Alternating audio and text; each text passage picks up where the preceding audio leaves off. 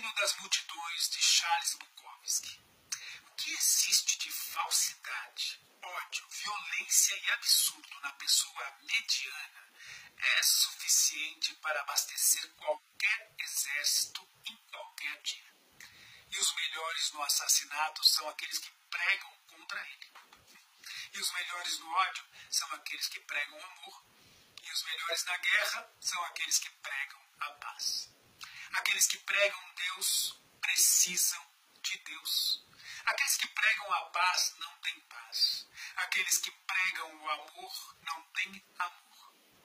Cuidado com os pregadores. Cuidado com os sabe-tudo.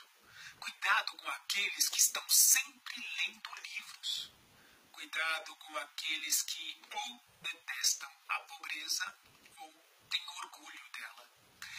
Cuidado com aqueles que elogiam facilmente, porque precisam de elogios em troca. Cuidado com aqueles que censuram facilmente, porque têm medo do que não conhecem. Cuidado com aqueles que sempre procuram multidões, porque sozinhos não são nada. Cuidado com o homem mediano. Cuidado com a mulher mediana. Cuidado com o seu amor. Seu amor é mediano, busca mediano. Mas existe gênio em seu ódio. Há gênio suficiente em seu ódio para te matar, para matar qualquer um. Não desejando a solidão, não entendendo a solidão, eles vão tentar destruir qualquer coisa que seja diferente das que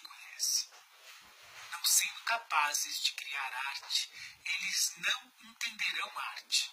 Eles irão considerar seu fracasso como criadores apenas como uma falha do mundo. Não sendo capazes de amar completamente